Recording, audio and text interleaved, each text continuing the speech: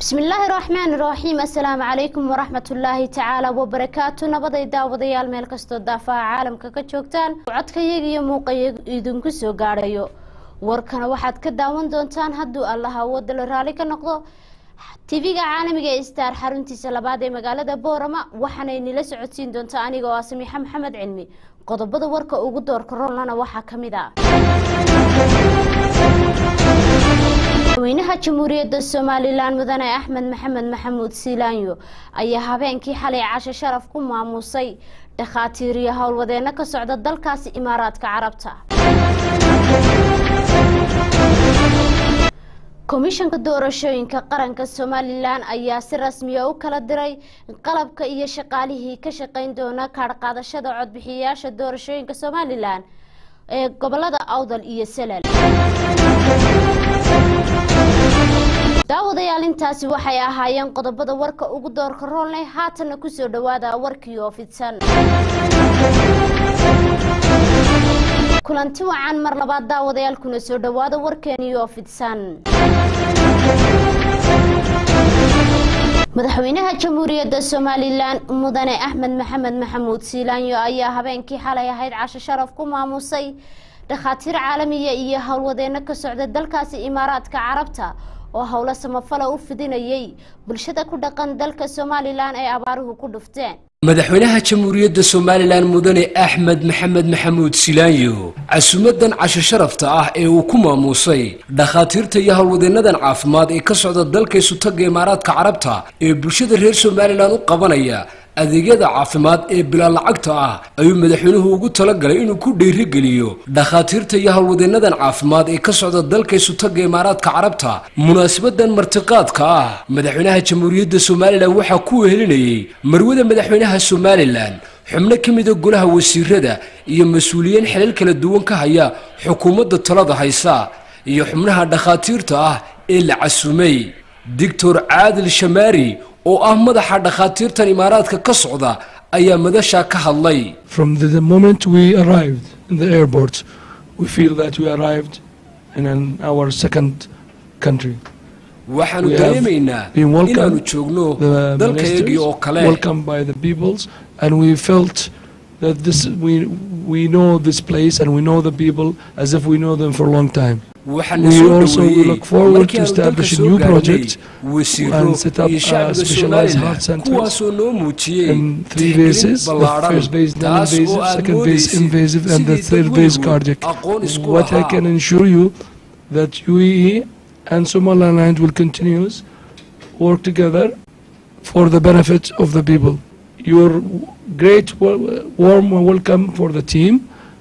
It will give them empowerment and will give them energy to continue their efforts. wasiirada wasaaradaha caafimaadka dr saleebaan ciise axmed xagle toosiye iyo arrimaha dibadda dr sacad cali shire ayaa sharaxay sida imaaraadka carabtu ay u garab istaageen bulshada reer somalilan good job.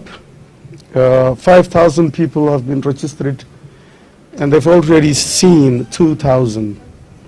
And um, for the next three, four days that they're going to be here, we're expecting that the rest of the uh, uh, registered people will be covered.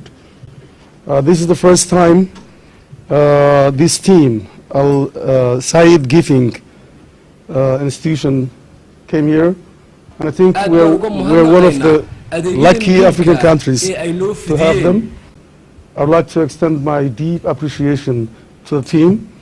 waxaan aada ugu faraxsanahay oo dr caadil aan ka wada hadalnay in ay doonayaan inay sameeyaan xarun wadnaha ah.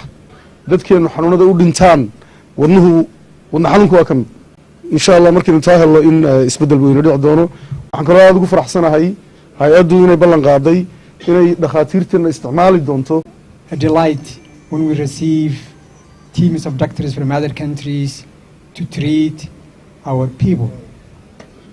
But it's a double delight to receive a team of doctors from the United Arab Emirates somalilan a- a markii friendly hore country, very close friend of Somaliland. You have put a crown of health on the heads of many people here in Somaliland, young people, old people, men and women, and we're very glad. We pray to Allah mudane axmed maxamed maxamuud silaanyo madaxweynaha jamhuuriyadda somalilan ayaa madasha ka jeediyey khudbad af ingiriisiya oo ku tacalluqda iskaashiga dhex maray imaaraadka carabta iyo jamhuuriyadda somalilan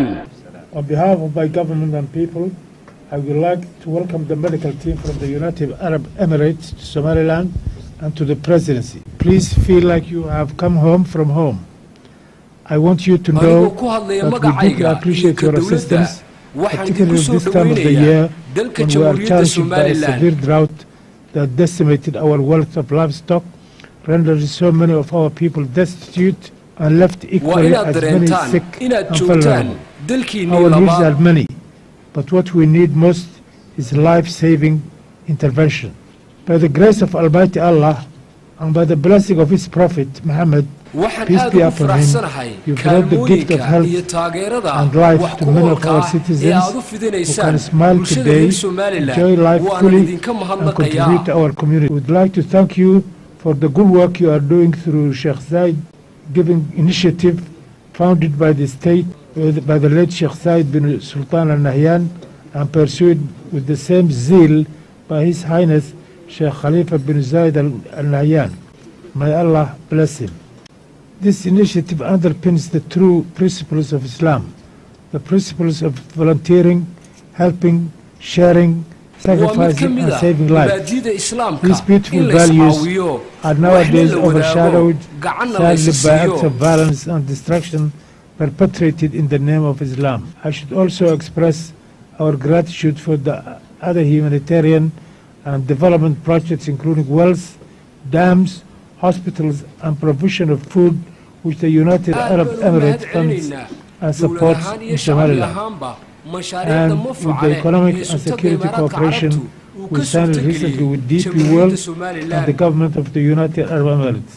I believe this is just the beginning of a long-term, mutually beneficial relationship between our two brotherly countries. ridwaan caydiid ismaaciil akiid iyo cabdilaahi cali suudi wasiirka wasaaradda warfaafinta iyo wacdigelinta dhaqanka jamhuuriyadda somalilan mudane cismaan saxaardiid wafdi ballaadhan uu horkacayo ayaa saaka kormeer ku soo gaalabixiyey wasaaradda warfaafinta ay ka socdaan mashaariic lagu fulinayo solar systemka fallaadhaha lagaga dhaliyo cadceedda ee korontada wasiirka wasaaradda warfaafinta dhaqanka iyo wacyigelinta somalilan mudane cismaan cabdulaahi saxaardiid cadaani oo weheliyo wasiirka wasaaradda macdanta somalilan mudane xuseen cabdi ducaale wasiiru dowlaha warfaafinta iyo agaasimaha guud ee wasaaradda warfaafinta ayaa kormeeray mashruuca solar systemka ah ee tamarta fallaadha cadceedda lagaga dhalinayo korontada oo ka socda gudaha wasaaradda warfaafinta somalilan kaasoo qiyaastiisu ay dhan tahay shan boqol oo kefi mashruucan oo howshiisu muddooyinkii ugu dambeeyey ka socotay wasaaradda warfaafinta ayaa soo gabagaboobay waxaana ujeeddadu ahayd inay soo kormeeraan labadan wasiir wasiirka wasaaradda warfaafinta iyo wasiirka tamarta iyo macdanta siduu u socda mashruucaasi. Wasiirka wasaaradda warfaafinta somalilan mudane cismaan cabdulaahi saxardiid cadaani ayaa ka hadlay kaalintuu ka qaadanayo nidaamkan laga dhalinayo solar systemka ama fallaadha cadceedda wasaaradda warfaafinta oo afar iyo labaatanka saacadood shaqaysa saad ka warhaysaan halkan hawl weyn ayaa ka socotay. Solar system wasaaradda lagu soo kordhiyey warfaafinta iyo wacyigelinta. Oo runtii ah shan boqoloo k v ah. Waanu isleenahay waxaa ku nasinaysaan ama kaga maarmaysaan. Shidaalkii badnaa ee wasaaradda aanu isticmaali jirnay oo runtii aad iyo aad u fara badnaa. Ayaa maxaan ku dhahay isleen waan kaga maarmaysaan. Runtiina waxaan mahadnaq aan la koobi karin. Aan aanu arrintaa ugu haynaa wasiirka tamarta iyo macdanta saaxiibka xuseen cabdi ducaale.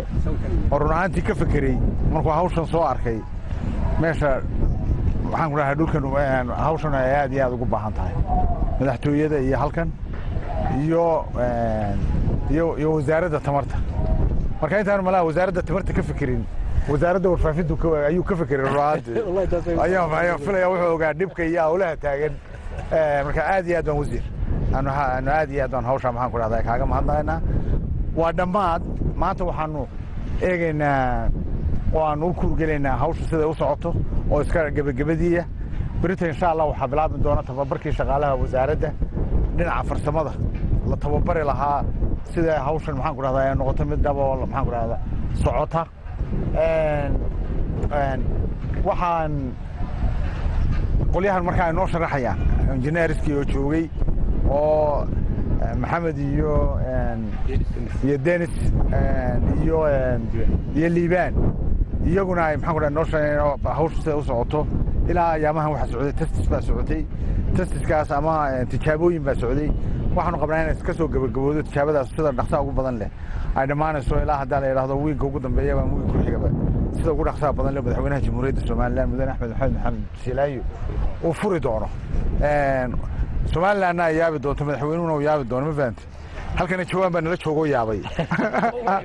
Jawaan baa isaguna saakayna soo booqdayo. Laftiisu yaabay yani waxa jira wuxuu yidhi war wax badan baa qabataani sida loo sheegto ayaydaan aqoon markaa runtii maalinta weyn ee madaxweynuhu yimaado ayaanu ummadda u bandhigi doonaa waxaanu hawsha waxay ka kooban tahay.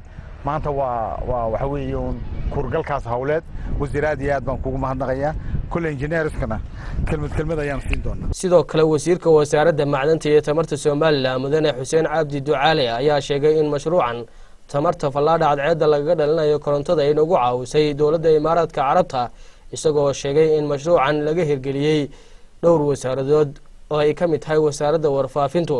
Sida wasiirka warfaafinta u sheegay maanta halkan waxaanu joognaa mashruucii tamarta ka dhalinaya cadceedda ee wasaaradda warfaafinta muddo dheer iminka ka socday oo iminka gabaabsiya waxayna jooga maanta oo aanu shaqadan moogtahay halkaan isu soo taagnay. Maanta waxaa weeye maaha furitaan rasmiya inaanu testinkii iyo waxyaabihii systemku inuu dhan yahay aanu u kuurgallo waa iska dhammaan sida wasiirku u sheegay. Aad iyo aad waxaan ugu faraxsanahay inaan ma garanaysaa muxuu ahayey hawshaas ay naga caawisay dowladda isutaga imaaraadku oo ay daba socotay madaxweyneheena axmed maxamed maxamuud silaayo markuu tegey imaaraadka waxyaabihii loogu ballan qaaday ayay mashaariicdani daba socotaa. Marka anagu wasaarad ahaan wasaaradda tamarta maadaamaanu tamarta mas'uul ka nahay markii ay imaaraadku noo soo bandhigeen inay dhowr meelood diyaar u yihiin inay inoo geliyaan tamar cadceedda ku shaqaysa wasaaradda ugu horreysa aanu ka fikiray waxayd wasaaradda mugtay warfaafinta oo aad iyo aad baahi weyn u qabta tamar filan oo joogto ah oo jaban oo ay awoodi karaan. Waayo dee intaasoo boqol of soo diesel ay shidan jireen siday transmiteradan u shaqeeyaan oo dee bawar aad u fara badan bay isticmaali jireen way ka maarmayaan maanta. Iska daa bawar dabadda ka soo jiitaane systemkan u rakaban waxa weeye uu ka badanyay had iyo habeen buu ka shaqayn karaa beteriyaal baa u yaalla habeenkii moogtay tamarta u kayd kaydka u noqota ay isticmaalayaan. Marka way isku filaashay gaadhayaan haddaanay kaba badanba. Aad baan ugu farxsanay marka wasaaradda in moogtay arrintaasi u soo biirtay. Si rasmiyana insha allahu tacaala moogtay madaxweynaha furi doona. Marka moogtay yani sida ugu dhaqsaa badan leh.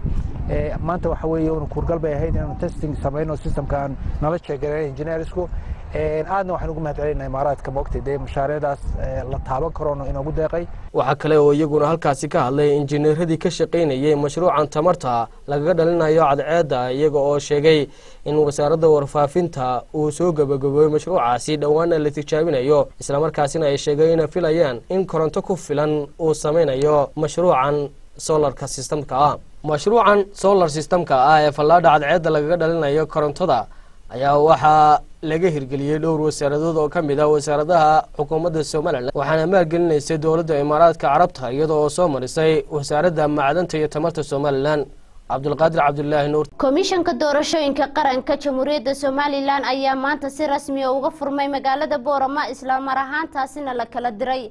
Agabka iyo shaqaalaha ka shaqayn doona kaadhka codbixiyayaasha ee gobollada awdal iyo selel komishanka qaranka doorashooyinka somalilan ee ka howlgalaya gobolka awdal ayaa maanta u kala diray shaqaalihii ka shaqaynayay kaadhka codbixinta degmooyinka iyo tuulooyinka hoos yimaada gobollada awdal iyo salel goobahaasi oo ay ka bilaabmayso qaadashada kaadhka codbixinta. Xubnaha komishanka qaranka ayaa la dardaarmay howlwadeenada ka howlgalaya deegaanada kala duwan ee lagu bixinayo kaadhka codbixinta iyaga oo fariimo u diray dadweynaha inay qaataan kaadhka codbixinta. Goob kastay joogaan guddoomiyaha komishanka qaranka doorashooyinka somalilan cabdiqaadir iimaan iyo kaltuun sheekh ayaa wax hadalladoodii ka mid ahaa. Saaka waxaa loo howlgalay diyaarintii iyo in la kala diro howlgalladii oo dhan. Ilaa iyo imika si fiican ayay hawsha u socotaa. Waxaa la kala diray maanta ugu yaraan afar boqol oo ciidan oo isugu jira booliiskii militariga shaqaalaha la diray iyaguna goobahoodii loo kala diray waa sideed boqol iyo dheeraad baa saaka kala baxay.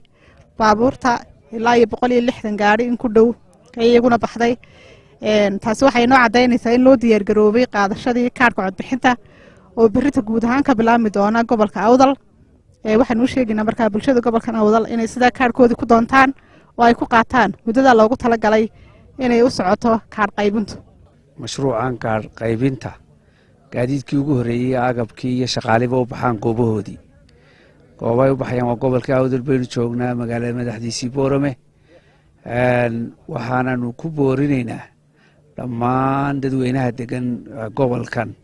Sidii ay diiwaangelinta u galeen oo ahayd runaantii si qurux badan inay u qaataanna kaadharhka kaadharhku waa xaq dastuuriya oo uu dastuurku siiyey iyagaa leh iyagaa loogu soo shaqeeyey iyagaa loo soo diyaariyey. Marka waa inuu qofku xaqiisii dastuuriga ahaa uu exercise gareeyaa waa inuu goobtii uu iska diiwaan geliyey dib ugu noqdaa oo uu ka qaataa kaadhkii oo u diyaarsan oo u dhammaystiran sawirkiisii leh nambarkiisii leh goobtii leh wixii astaane ee uu lahaa maxayde kaadh codbixineed ugu dhammaystiran yahay. Yaan sidii berigii hore diiwaangelinta gobolladu way istaba soconayaan sida ay u bilaabantay weeyaan. Yaana ma dhow la odhan maan ogeyn iyo waxba nolooma sheegin. Wacyigelinii way socdaan. Tii maxayde heer qaran baa socotaa laba gobol oo kastoo la marayna wacyigelin u khaasaa socota. Marka ha loo diyaar garoobo ilaahay baynu mahadda leh. Ilaah inagu soo gaadhsiiyey inagoo nabada. Waxaa iyaguna halkaasi ka hadlay xubno ka socday saddexda xisbi qaran. Waxaana hadalladoodii ka mid ahaa. Waxgaradka odayaasha aqoon-yahanka iyo dhammaan rag iyo dumarba in hawl weyn la geliyo oo sidii kaadhkaasi loo qaadan lahaa layskuna baraarujiyo. Ayaanu fariin halkan uga diraynaa. Ta kale waxaan fariin farayaa oon fariin adag farayaa dadka degan gobolka awdal oo aan leeyahay codkiinna muu yarayn boqol iyo toddobiyo afartan kun oo cod buu ahaa. Boqol iyo toddobiyo afartankii kunee cod waa in laydinka helaa. Muwaadiniinta kaadharhkooda qaadanaysa in ay xaq u leeyihiin. In qofku uu cod yeesho oo qof jiro uu noqdo. Taasuna aanay ku imaan bilaash aanay ku imaanan dadaal weyn ay ku timi oon komishonku hawshooda say u qabanayaan iyo say u wadaan. Yacni wax maskaxda gelaya aan ahayn yacni aad arkaysaan in dadaal dadaalkii ka badan inay muujiyeen daawadayaal war waxaan idinka haynay dalka gudihiisa. Intaasi ayaan ku soo afmeeraynaa warkan idinla socodsiinaysay aniga oo samiixa maxamed cilmiya waxaanad ka daawanayseen tv-ga caalamiga star. Xaruntiisa labaad ee magaalada boorama. Dhammaan bahdayada star t v oo isku duuban wax idinka tegaynaa. Asalaamu calaykum waraxmatullaahi tacaala wabarakaatu